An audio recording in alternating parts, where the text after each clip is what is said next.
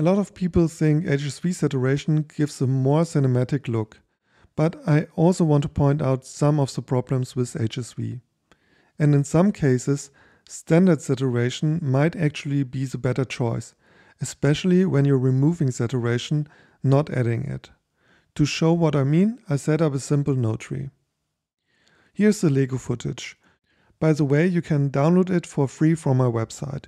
Just go to blog and click on Everyone is Awesome sample footage. First I will apply a color space transform. In the first node I balance the shot a bit and bring the exposure down slightly.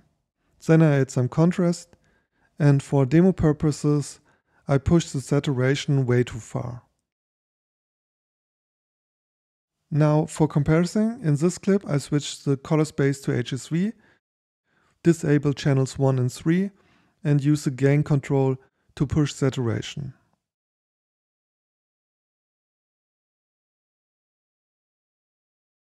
This is sometimes referred to as subtractive saturation since it tends to look more filmic. Of course, both methods are just different ways of manipulating RGB. Let's talk about where HSV can fall apart. When you use HSV to desaturate an image, it can start to look really unnatural. Standard desaturation, on the other hand, often feels more organic. Here's the image, desaturated with a regular saturation control, and it looks solid. The HSV version, though, feels off. To understand what is going on, we can look at some test gradients. Here I'm using the rainbow gradient ramp. When we desaturate with the standard method, you can already feel that blue reads darker, yellow brighter.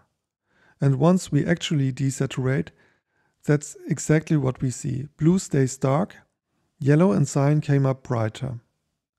But when we use the HSV method to desaturate the image, everything just turns white.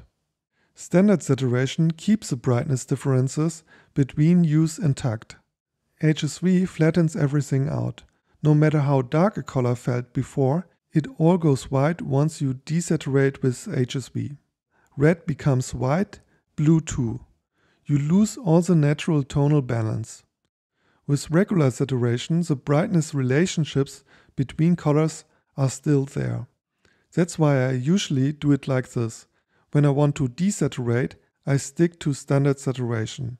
When I want to add saturation, I tend to go with HSV.